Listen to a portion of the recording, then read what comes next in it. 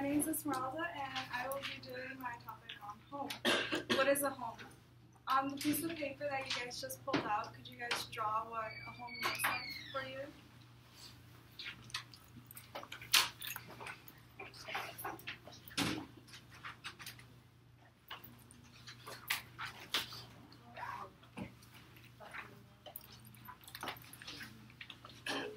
Can you also write down a few, just a couple little words that um, what a, you believe a home is?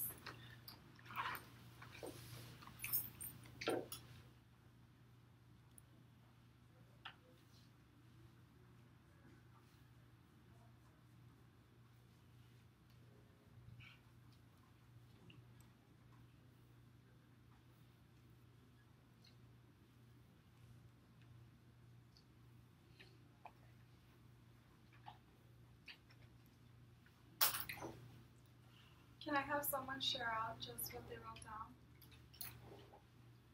I believe home is shelter, like the outside. Someone else, another volunteer, Jose. Unity, Unity. So, I asked uh, Ch- Child Protective Service social worker Chloe Ruska and foster care social worker Makita Ekakati what they believe a home should consist of, and um, something that they had in common, and their answer was serenity, security, and bliss. These are all factors that um, they consider when looking for a home.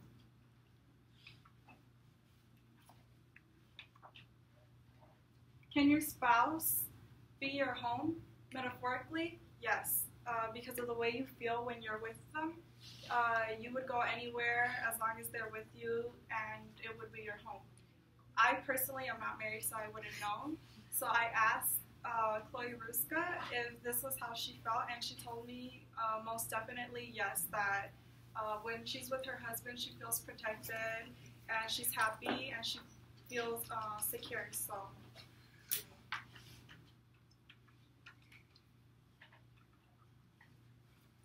Can you have multiple homes?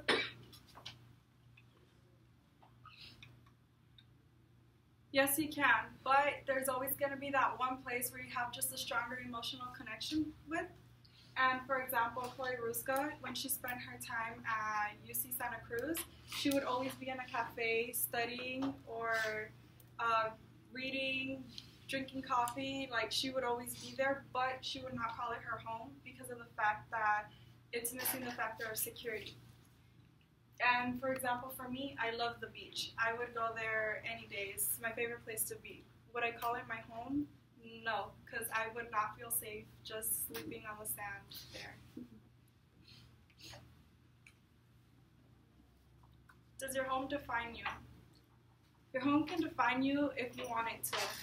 Uh, for example, the way you decorate it. So Chloe Ruska, she made sure that when she got when she bought her home, she wanted her guests to, when they walked in, to automatically think, "Oh, this is totally Chloe." The way she just decorated it, it just describes her personality, but it doesn't describe her husband's personality one bit. And for example, there's some people who work all day and they just don't have the time to decorate their home. Uh, but what it does describe is that they're hard workers. So it can definitely um, define you if you want it to. Culture. Uh, can culture affect your idea of what a home should be? So um, I did research on an Indian married couple, Mr. and Mrs. Patel. They were in search of a home, and out of all the houses that they went to, they paid specific attention to how the doors were facing. Uh, the front door had to face east, and the back door had to face west, because it's just it's in their culture. It's just something that they believe in. And the house that they ended up picking for it to be their home was the home that had the doors facing that certain way. Religion. Can religion have an impact on your ideal of a home? I'm going to use the Muslim religion as an example. So, in the Muslim religion, the first door, the first room that you walk into, it has to look like a living room. It has to be big and spacious, and every other room in the house just has to. They just like the room, the space, and their bed has to be facing a certain way. So it has to be facing towards Mecca. And that's just something that they take into consideration. There are plenty more factors um, that specifically just this religion for now that they consider when looking for a home. But those are just some.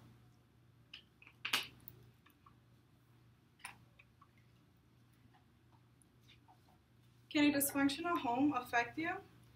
Yes, it can. It can cause PTSD. PTSD is caused by um, experiencing a traumatic event, but not just experiencing it, just witnessing it also. It can cause PTSD. Not many people know that. So if you're at home, even though you're not the one who's like being screamed at or all the commotion that uh, is not faced towards you, it can still most definitely affect you. It can cause anxiety because it's just too much for you to handle. Everything that's happening, it's too much. It can cause depression, and because of um, depression, you start pushing away people from your life and you neglect help. Like, you'll push away adults. You'll become less social. You won't hang out with friends. You'll just um, start thinking, like, oh, why is this happening at my house? Or, um, is there something I can do to fix it? And it just causes depression. It can also cause nightmares. You start, um, not only what happens during the day, it'll affect you, but it'll like sink into your mind and start giving you nightmares also at night. It can cause bad grades. Your grades will start to uh, dwindle once you like start ignoring everything else and your only focus is just like oh man i have to go home after school i don't want to go there though can i go to a friend's house and then um, it all just affects you it can also cause um, substance abuse criminal activity outburst in public stunned brain growth and suicidal ideation. So when you're having problems um, at home or even just like with the neighbors screaming or something, uh, it makes you more su- su- susceptible to to drugs and to influence to doing um, criminal activity because you just go with the wrong crowd because you think like oh these people get me they're going through the same thing or something like that so you start um, going through the wrong path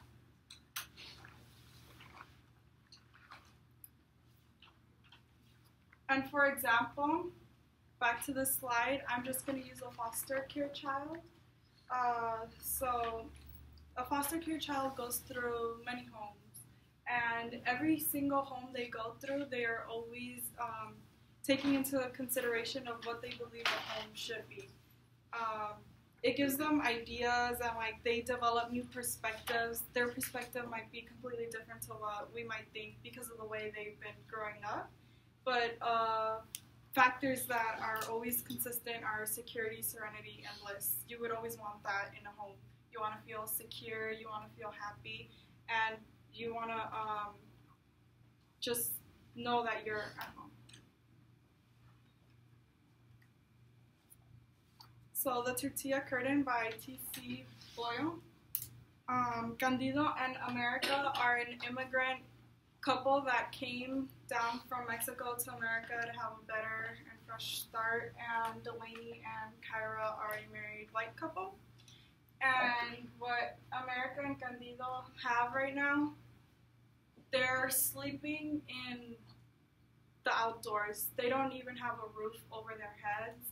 Uh, they're constantly just trying to find something to eat, to work, versus Delaney and Kyra, who are living in a beautiful neighborhood, but what they're considering to do is put gates up to keep the immigrants out.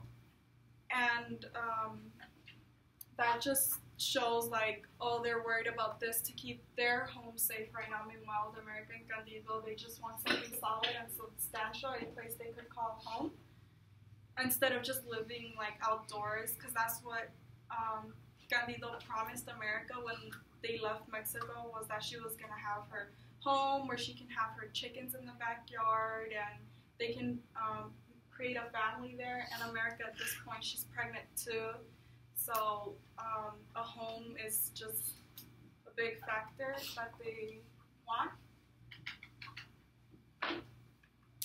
And yeah,